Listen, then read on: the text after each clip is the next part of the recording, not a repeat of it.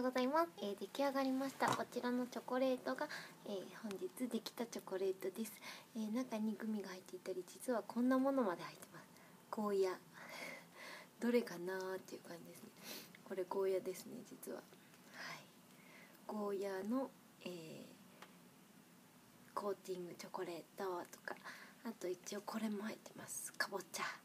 今回はゴーヤとかぼちゃも、えー、混ざっております。ちょっとゴーヤの方、えー、溶け、えー、食べれるかなっていうところですね。でもまだあの完全に完全にやってないですけどちょっと食べてみたいと思います。